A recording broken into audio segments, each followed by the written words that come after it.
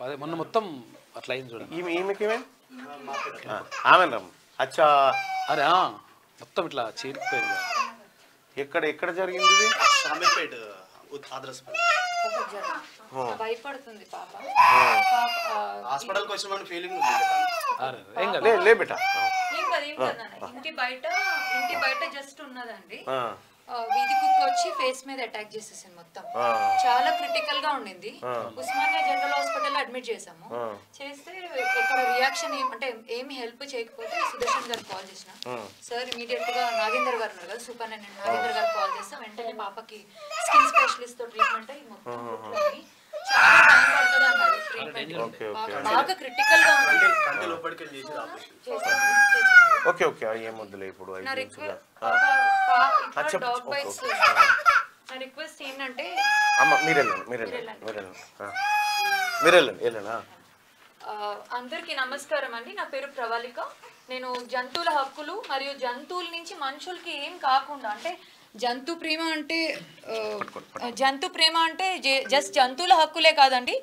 జంతువులకి మనుషులకి కూడా వాటికి ఏం కాకుండా చూసుకోవడం కూడా జంతు సంరక్షణ అండి.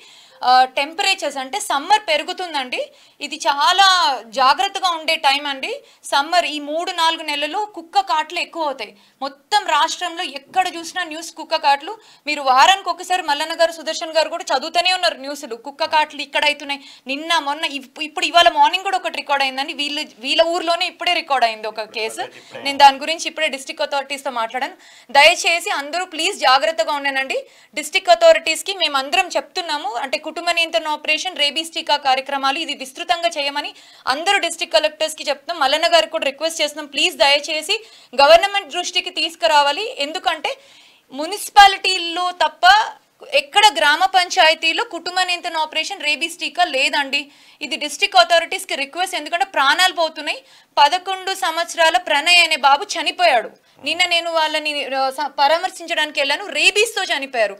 ఇది చాలా ఇంపార్టెంట్ అండి. పిల్లలకి మీకు తెలిస్తే కుక్క కాటైందని తెలిస్తే దయచేసి ఎక్కడైతే కరిచిండ్రో అది వాష్ చేయండి మీరు ఇమీడియట్గా హాస్పిటల్కి వెళ్ళి టీకా అయ్యండి ఈ ప్రణయ్ అనే బాబు బ్రతికేవాడండి. రెండు కళ్ళకి మధ్యలో కాట్ అయింది. ఏం కాదులే అని వాళ్ళు వదిలేయడం వల్ల ఆ బాబుకి ట్రీట్మెంట్ అవ్వలేదు ఇంజెక్షన్ అవ్వలేదు. కుక్క చనిపోయిన తర్వాత వాళ్ళకి భయం వేసి హాస్పిటల్కి వెళ్తే ఆ టైంకి బాబుకి రేబీస్ ఇన్ఫెక్ట్ అయిపోయిందండి బాబు రేబీస్తో చాలా వింత వింతగా బిహేవియర్తో పంతొమ్మిదో తేదీ ఆ బాబు చనిపోయారు. మళ్ళీ ఎవరు ఇలా అవ్వకుండా ఉండాలంటే దయచేసి కొంచెం జాగ్రత్తలు తీసుకోండి. మల్లన్న గారు మీకు రిక్వెస్ట్ చేస్తున్నాను. మీకు తెలిసిన పీడియాట్రిషియన్ డాక్టర్ గారు ఎవరైనా మనకుంటే ఒక్కసారి మార్నింగ్ న్యూస్కి పిలిపించి కుక్క గరిస్తే ఏమి జాగ్రత్తలు తీసుకోవాలో కొంచెం మీరు అవగాహన ఇస్తే కూడా మనకి ఎక్కువ డ్యామేజ్ అవ్వకుండా ఉంటుందండి. ముఖ్యంగా ప్రివెన్షన్ అండి. కుక్క కాట్లు అవ్వకుండా ఉండాలంటే దయచేసి వాటి దగ్గరికి వెళ్ళకండి. పిల్లలకి సెలవులు ఇప్పుడు అసలుకి. పిల్లలు బయట ఆడుకుంటున్నారు. ఆ క్షణంలోనే ఈ- కుక్కలు కరుస్తున్నాయి. రిక్వెస్ట్ అండి డిస్ట్రిక్ట్ అథారిటీస్కి ఈ మార్చ్ ఏప్రిల్ మే జూన్ అండి. మేడ్చల్ మల్కాజ్గి జి- జిల్లాలో జనవరి ఒకటి నుంచి ఇప్పటి వరకు పదమూడు వందల కుక్క కాట్లు ప్రైమరీ హెల్త్ సెంటర్స్లో రికార్డ్ అయిన కేసెస్ సార్ ఇవి. మళ్ళీ ప్రైవేట్కి వెళ్ళినవి.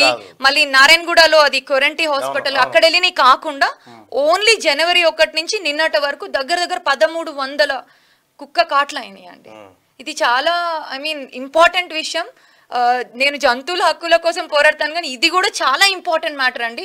హ్యూమన్ యానిమల్ కాన్ఫ్లిక్ట్ అవ్వకుండా ఉండాలి. కుక్కర్ నియంత్రిద్దామంటేనే మీరు వదిలిపెడతారా? అట్లేం లేదండి. అది ఒక రీజన్ ఉంది. ఇప్పుడు కుటుంబ నియంత్రణ ఆపరేషన్ చేస్తే సంఖ్య తగ్గదు. సంఖ్య తక్కువ ఉంటే సేఫ్ ఉంటాయి. రేబీస్ టీకాలు వేస్తే వాటికి రేబీస్ రావు. మనల్ని బై మిస్టేక్ కరిచినా కానీ రేబీస్ అనేది జబ్బు రాదు సార్ వాళ్ళకి. ఇది చాలా ఇంపార్టెంట్. వాటిని చంపి తీసుకెళ్ళడం వల్ల ఏం ఉపయోగం లేదు. ఎందుకంటే వాటిని చంపి తీసుకెళ్తే రెండు రోజులు ఉండవు కానీ మూడో రోజు కొత్త కుక్కలు మళ్ళీ వస్తాయి. కొత్త కుక్కలు అక్కడ ఉన్న వాళ్ళు తెలియదు కాబట్టి అటాక్స్ ఎక్కువ అయ్యే అవకాశం ఉంటుందండి. ఇది సైంటిఫిక్ మెథడ్లో డబ్ల్యూహెచ్ఓ రికమెండ్ చేసిన సుప్రీం కోర్టుకి కాబట్టి అది మనం అది మనం పాటించాం. చంపడం కూడా ట్రై చేశారు రెండు వేల ఒకటి వరకు. ఏది వర్కౌట్ కాకపోతే మనకి రెండు వేల ఒకటిలో కుటుంబ నియంత్రణ ఏబీసీ రూల్స్ అంటారు అంటే animal birth control rules two thousand one వచ్చాయి. గుడ్ న్యూస్ ఏంటంటే మళ్ళీ అవి నోటిఫికేషన్ అయింది. ఇప్పుడు ABC rules twenty twenty three ప్రకారం స్టేట్ గవర్నమెంట్స్ అందరికీ స్ట్రిక్ట్ ఇన్స్ట్రక్షన్స్ ఉన్నాయండి సుప్రీం కోర్ట్ నుంచి దట్ అందరూ అందరూ కుటుంబ నియంత్రణ ఆపరేషన్ రేబీస్ టీకా కార్యక్రమం చేపట్టాలి. అన్ని మున్సిపాలిటీలు అన్ని గ్రామ పంచాయతీలు. కానీ అన్ఫార్చునేట్లీ మున్సిపాలిటీలకే దిక్కులేదండి మేము నేను అడ్వకేట్ హైకోర్ట్ ఆఫ్ తెలంగాణ మా కొలీగ్స్ అడ్వకేట్స్ పిఐఎల్ వేస్తే అప్పుడు హైకోర్టు డైరెక్షన్స్ ఇచ్చిందండి. మూడు నెలలు టైం ఇస్తే అప్పుడు ఈ ఈ కుటుంబ నియంత్రణ ఆపరేషన్ కేంద్రాలు స్థాపించారు. ఇప్పటికి కూడా అవి ఫంక్షనల్గా లేవండి. మనకున్న ఏకైక కుటుంబ నియంత్రణ ఆపరేషన్ పర్ఫెక్ట్గా చేస్తుంది అమలా కినేని గారి సంస్థ. బ్లూ క్రాస్ ఆఫ్ హైదరాబాద్ మనం టైఅప్ అయి ఉన్నాం. మన మేడ్చల్ జిల్లాలో పదమూడు మున్సిపాలిటీలు వాళ్ళకి ఎంఓయు అయ్యి మనకి ఎవ్రీడే ఈ కార్యక్రమం జరుగుతుంది. కానీ గ్రామ పంచాయతీలో లేదండి. అరవై గ్రామ పంచాయతీలు ఉన్నాయి. మేడ్చల్ జిల్లాలో అక్కడ ఎక్కడ లేదు. ఇంకా మిగతా డిస్ట్రిక్ట్స్లో హైదరాబాద్లో జిహెచ్ఎంసీ వెట్ సెక్షన్ చేస్తున్నారు. కానీ వాళ్ళు అనుకోని రీతిలో అంటే పర్ఫెక్ట్గా చేయట్లేదు. మీకు అందరికి గుర్తుండాలి వన్ ఇయర్ బ్యాక్ అంబర్పేటలో కుక్కలన్నీ కరిచి బాబు చనిపోయారు. ఆ బాబు చనిపోయిన తర్వాత వెంటనే గవర్నమెంట్ చాలా ఇన్స్ట్రక్షన్స్ ఇచ్చినాయి సార్.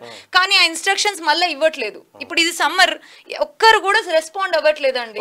మీరు కొంచెం హెల్ప్ చేసి మనం అవేర్నెస్ గవర్నమెంట్ హాస్పిటల్లో కూడా కొద్దిగా సిస్టమ్ చేంజ్ కావాలన్న. మనం ఇప్పుడు హాస్పిటల్కి వెళ్తున్నాము మన పేషెంట్స్ చూడడానికి ఎవరైనా వస్తారు అనుకోండి. మనం డోర్ కాడ పది ఇవ్వాలి లోపల పోయినాక యాభై వేయాలి. ఈ సిస్టమ్ మారాలి. ఈ ఓటేసేటప్పుడు కూడా మన ఇంటికి లీడర్ రాగానే తే అంటాం కదా అది బంద్ చేయాలి. అది బంద్ చేయాలి. ఫస్ట్ అది బంద్ చేయాలి. బంద్ చేయాలి. నీ ఇంటికాడ గల్మకాడ కూర్చోగానే తే ఏమి ఇస్తావు? ఎంత ఇస్తావు అది- ఎప్పుడు ఇస్తావు. ఇది బంద్ చేస్తే ఇది చక్కగా అవుతుంది. చక్కగా అవుతుంది. నువ్వే లంచగొండి పోయిన తర్వాత లంచం తీసుకోకుండా ఇప్పుడు గవర్నమెంట్ హాస్పిటల్ ట్రీట్మెంట్ కూడా అంత పర్ఫెక్ట్ లేదు ఇప్పుడు ఉచిత కరెంట్ ఉచిత గ్యాసు ఉచిత గ్యాసు ఈ ఫ్రీ బస్సు. ఉస్మానియాలో నీకు ట్రీట్మెంట్ జరగలేదా? జరి అంటే మన మేడం వాళ్ళ తర్వాత అన్న వాళ్ళు చెప్పినాక అప్పుడు ట్రీట్మెంట్ అనేది పర్ఫెక్ట్ పర్ఫెక్ట్ చూశారు. పర్ఫెక్ట్ చూశారు.